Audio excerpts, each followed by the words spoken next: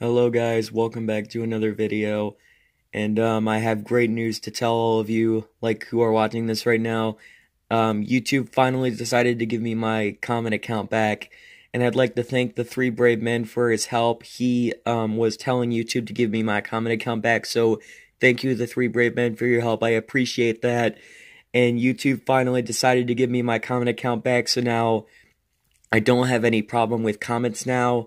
So um, thanks YouTube for giving me my comment account back, and thanks to Three Brave Men for your help, and everyone else supporting me. Because even though like other like other supporters like Mister Got a Sweep and uh, who's that other kid like My Little Pony fan one zero zero zero zero zero zero Joel Paul were saying that um, even the Three Brave Men were saying that YouTube took away my uh, comment account for um, uploading a violent Baldi's Basics video. Baldi's Basics is not as violent as you think.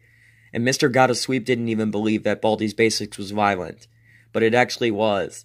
So anyways, yeah, I got my comment account back, guys, so um yeah, I'd like to I'd like to uh I'd like to, to tell you that that I got my comment account back. Hope you enjoyed the video. Bye.